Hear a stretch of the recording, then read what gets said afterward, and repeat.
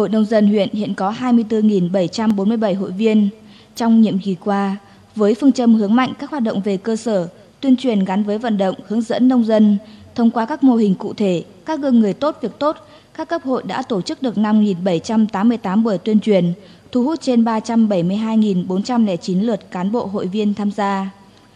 Đến nay, trên địa bàn huyện đã xuất hiện nhiều mô hình kinh tế phát triển theo hướng hàng hóa, năng suất, chất lượng, đảm bảo an ninh lương thực. Xu hướng liên doanh liên kết sản xuất và bao tiêu sản phẩm đang được mở rộng. Khoa học công nghệ, cơ giới hóa cơ cấu ngành nông nghiệp bước đầu có hiệu quả.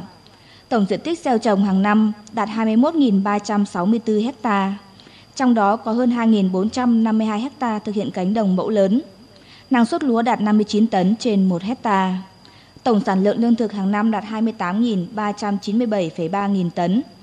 Năng suất mía đạt 66 tấn trên 1 hectare tăng 5 lần so với vụ ép trước. Tập trung xây dựng quy hoạch vùng cây ăn quả có múi như cam vân du, cây bưởi diễn, bưởi da xanh, cây thanh long ruột đỏ, cây ổi, dứa, cây mía tím, vân vân. Với diện tích là 1.317,36 ha, tạo điều kiện thu hút các doanh nghiệp đầu tư vào địa bàn, từng bước xây dựng quy trình truy xuất nguồn gốc sản phẩm,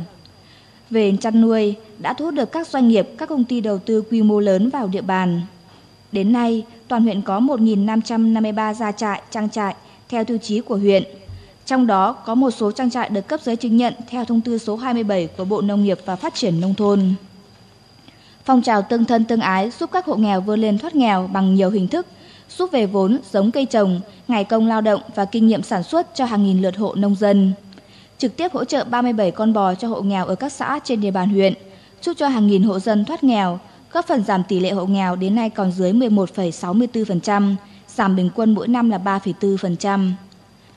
Hoạt động hội và phong trào nông dân trong huyện đã có bước phát triển mới, toàn diện, góp phần chuyển dịch cơ cấu kinh tế nông nghiệp nông thôn, đóng góp tích cực vào sự phát triển chung của huyện. Trong nhiệm kỳ, Hội Nông dân huyện được Trung ương tặng bằng khen năm 2017, tặng bằng khen cho 7 tập thể và 7 cá nhân cơ sở hội, 195 kỷ niệm trương vì giai cấp nông dân Việt Nam. Ủy ban nhân dân tỉnh tặng 2 bằng khen, Ban chấp hành Hội Nông dân tỉnh đã tặng bằng khen cho 16 tập thể và 116 cá nhân.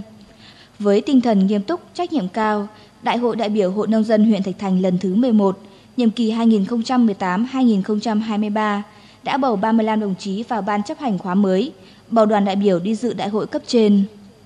Phát biểu chỉ đạo tại đại hội, đồng chí Hoàng Văn Lưu, Ủy viên Ban chấp hành Đảng Bộ tỉnh, Chủ tịch Hội Nông dân tỉnh đã chúc mừng Hội Nông dân huyện Thạch Thành đã đạt được những thành tích đáng tự hào và đồng chí cũng nhấn mạnh Hội Nông dân huyện cần phát huy những thành tích đã đạt được, khắc phục mọi khó khăn với tinh thần đoàn kết trong nhiệm kỳ tới. Đồng thời, đồng chí cũng đề ra một số mục tiêu nhiệm vụ trọng tâm, đó là đẩy mạnh công tác tuyên truyền chủ trương của Đảng, chính sách pháp luật của nhà nước, tập trung xây dựng tổ chức hội vững mạnh, vận động hội viên, tiếp tục triển khai phát triển các mô hình kinh tế hiệu quả, tham gia tích cực chương trình xây dựng nông thôn mới, đóng góp thiết thực vào sự nghiệp phát triển chung của địa phương.